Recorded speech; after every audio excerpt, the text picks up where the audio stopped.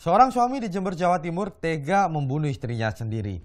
Pelaku berhasil ditangkap polisi setelah mencoba melarikan diri. Warga Jalan Haus Cokro Aminoto, Kelurahan Jember Kidul, Jember, Jawa Timur.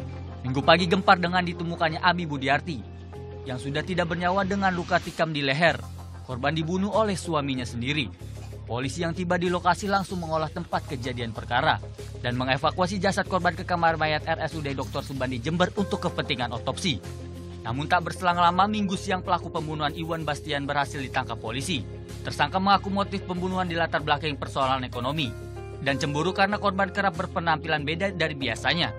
Yang pertama karena desakan ekonomi, yang kedua karena cemburu jadi sejak awal Januari 2018 yang bersangkutan kehilangan pekerjaannya.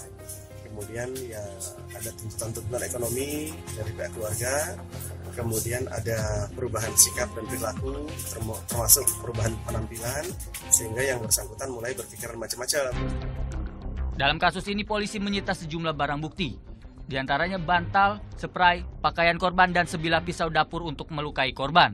Atas perbuatannya pelaku terkena pasal tentang pembunuhan dengan ancaman penjara 15 tahun. Mahfud Sunarji melaporkan untuk NET.